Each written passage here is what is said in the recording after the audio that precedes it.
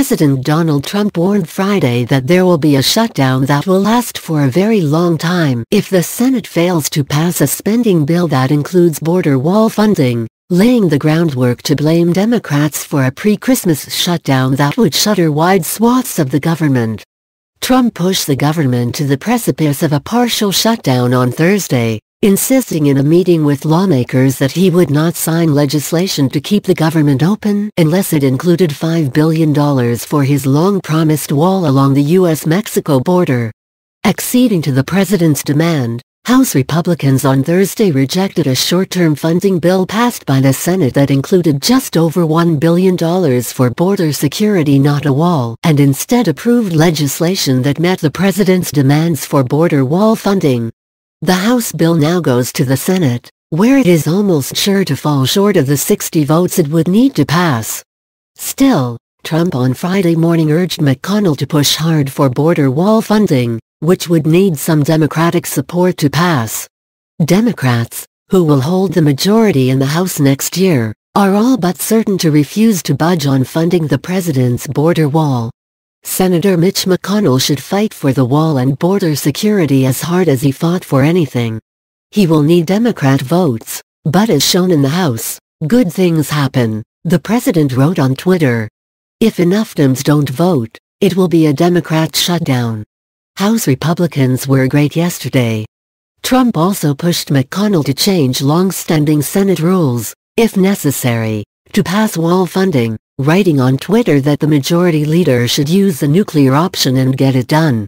The president has long pushed for an end to Senate filibuster rules requiring legislation to clear a 60-vote threshold to pass, a step McConnell has vowed never to take.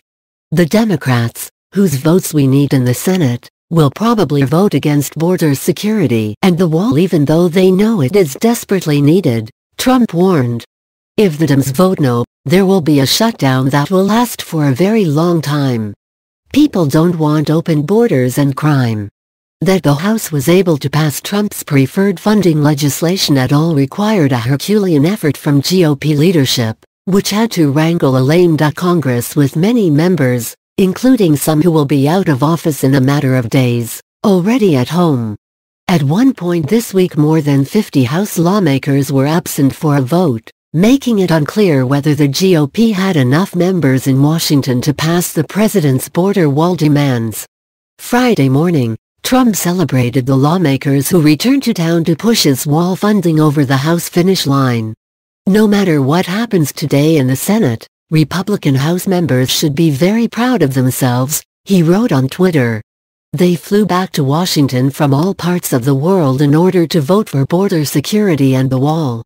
Not one Democrat voted yes, and we won big. I am very proud of you.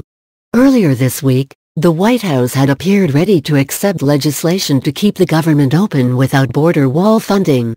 White House Press Secretary Sarah Huckabee Sanders signaled that the administration would find alternate sources for border wall money and the president said he would ask the military to build the border wall. But as the deadline grew closer, the right flank of the Republican Party mounted a final push to fund the president's signature campaign promise now, before Democrats seize control of the House and likely install Representative Nancy Pelosi, D. California, as Speaker. Members of the arch-conservative House Freedom Caucus delivered blistering floor speeches calling on the president to fight for the wall now, while conservative media figures similarly spurred the president to demand wall funding suggesting anything less would amount to a capitulation. Opponents of the president have long ridiculed his border wall proposal as an ineffective and overly simplified solution to the complex issue of illegal immigration. Trump has been lambasted, too, for his promise that Mexico would pay for the wall, a promise the president has dubiously claimed he kept by renegotiating NAFTA on terms he says are more favorable to the U.S. Trump defended his wall proposal Friday morning, suggesting he has the technological expertise to stop immigrants from entering the U.S. illegally. Democrats, the president claimed, are lying when they argue that a border wall would be ineffectual. The Democrats are trying to belittle the concept of a wall, calling it old-fashioned. The fact is there is nothing else that will work. And that has been true for thousands of years, he wrote on Twitter. It's like the wheel, there is nothing better. I know tech better than anyone, technology on a border is only effective in conjunction with the wall. Properly designed and built walls work, and the Democrats are lying when they say they don't. In Israel the wall is 99.9% successful, the president continued. Will not be any different on our southern border. Hundreds of dollar billions saved.